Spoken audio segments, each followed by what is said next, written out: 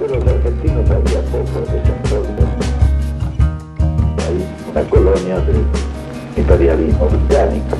Hay otro 9 de julio que amerita estar en el calendario.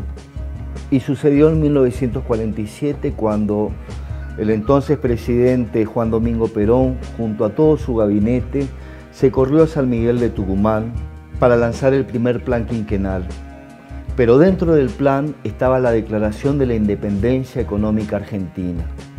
Si en 1816 se había declarado la independencia como emancipación de cualquier dominación, en 1947 se declaró la voluntad del pueblo argentino de ser libre, soberano e independiente del poder económico extranjero.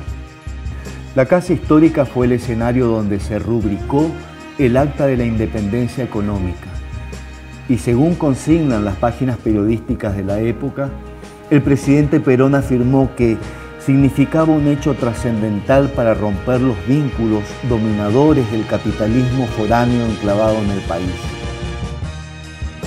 incluyó la nacionalización del Banco Central, la nacionalización de los ferrocarriles, por entonces de propiedad británica, que dio pie a la creación de la empresa Ferrocarriles del Estado argentino y el Plan Siderúrgico Argentino, que incluyó la fundación de la empresa siderúrgica estatal Somisa. Todo se puso en movimiento, el país rompió la inercia.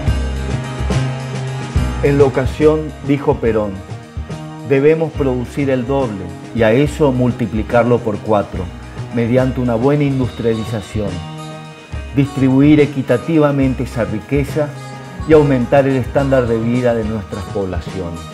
En nuestro tiempo, gobernar es crear trabajo.